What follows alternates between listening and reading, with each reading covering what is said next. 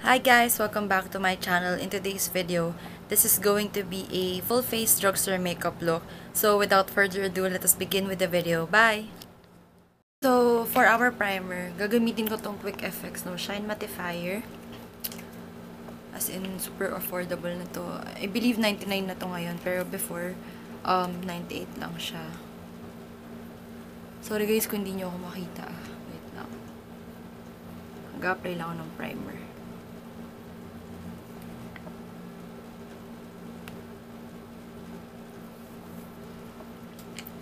Ayan. So, after primer, we go to foundation. For, for foundation naman, ang gagamitin ko is this green sap satin skin ng Maybelline.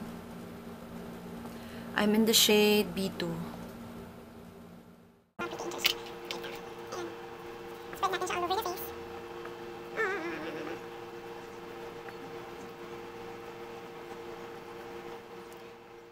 In the shade, asa na yung shade mo, girl? Sand Sable.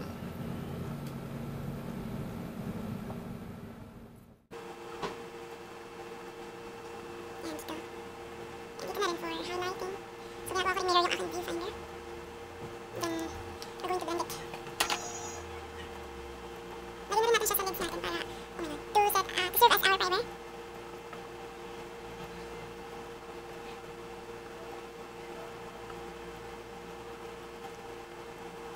Ayan, so, mini ganun ako kasi parang malala ang eyeballs ko. Gamit na lang tayo ng setting powder. So, for our setting powder, I'm going to be using Nichido Final Powder in the shade Creamy Glow. Focus good. Ayan. Hindi na tayo mag-bake since hindi naman ako aalis. Dito lang tayo sa house. Isinip natin. Blend-blend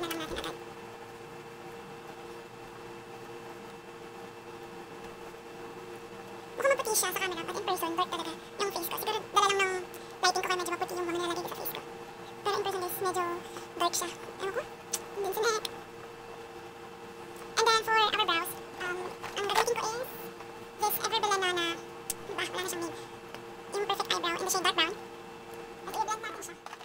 for the brows, I'll be using this EB Advanced na Perfect natin.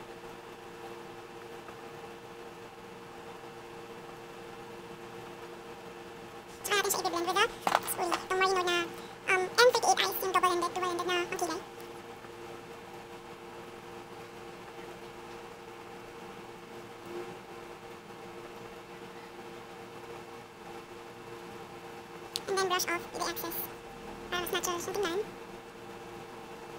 And the other.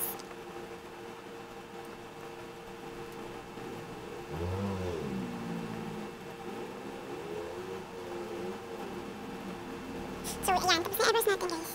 Next na gagawin natin is. Uh, tayo. So, for primer, gagamitin... Ay, hindi. Oh my God.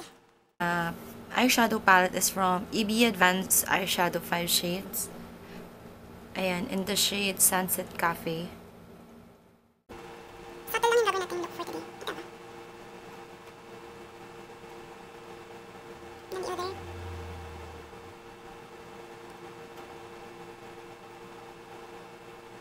Ayan, since puro shimmer siya, medyo baba, ah, lalasin lang natin. And then, next na color naman is this, parang bronzy gold I don't know, ito, para sa crease natin.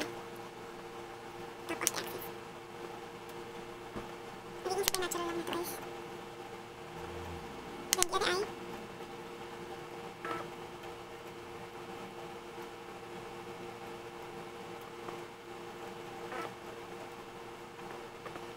So, para lang mag-set yung konti yung sa outer part ng eyes natin, gagamitin ko tong, tong parang pink na color sa palette. And dito lang natin siya ilalagay sa outer part. Yan. Para magkaroon na ng dimension ng eyes natin. Then sa other one.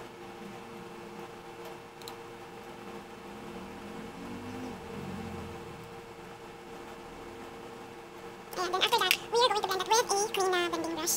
So, ito yung gagamitin ko para lang walang harsh na line sa eyes natin.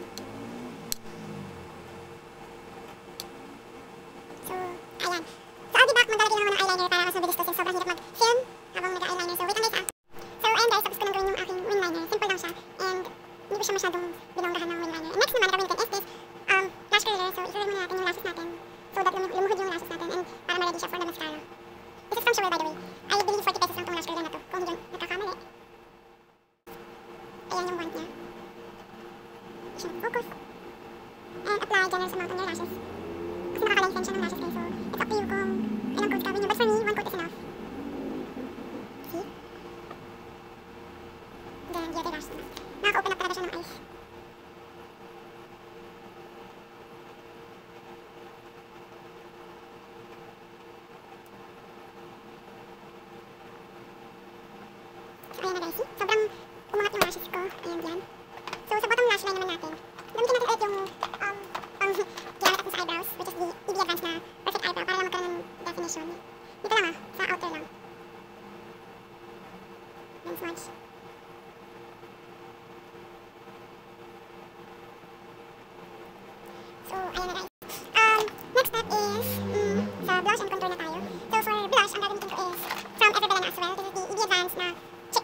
Peony. Peony. Ayan. Ano siya, rose na mauve. And I'll be using this slanted na kabuki brush. Ayan. Tapos the access. Then smile lang.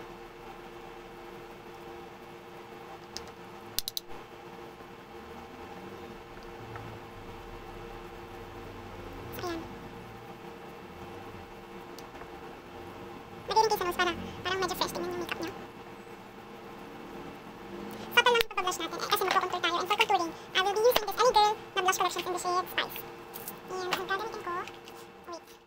So, gagamitin ko for contouring is this shade na brown. Actually, hindi siya brown-brown. Ang contour talaga siya. Pero nakalagay dito is bronze. So, wait lang guys. Ano lang to, light contouring.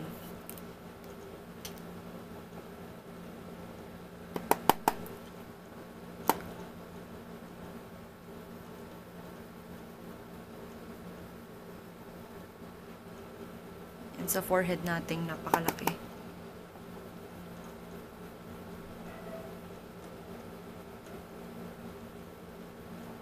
So, jaw.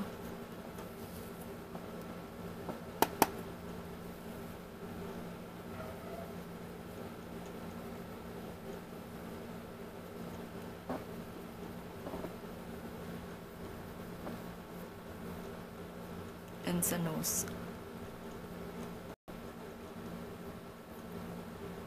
Sumobra. Be-blend natin yan. Wait lang.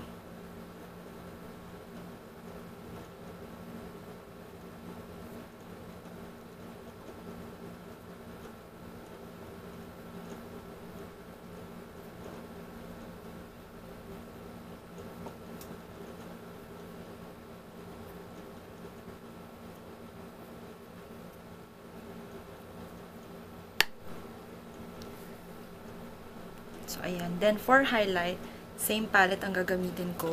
And, ito yung highlight shade nila. With this small na fan brush, magka-highlight tayo. Since, sobrang important ang highlight.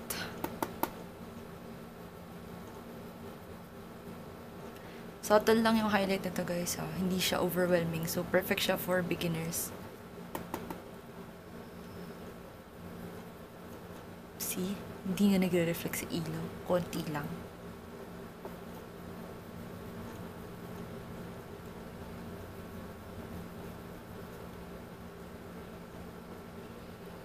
Ayan. Medyo lumalabas na yung highlight.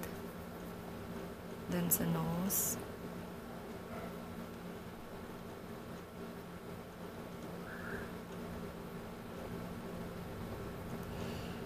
Sa chin.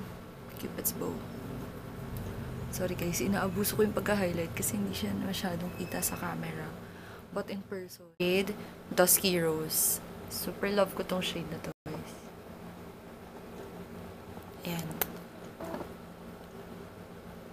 Mauve siya.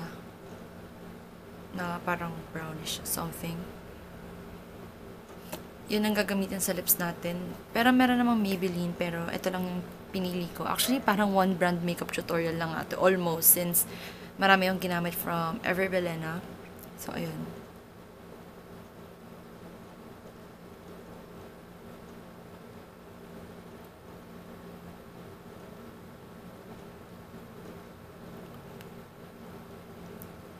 Yan. Or medyo wait lang.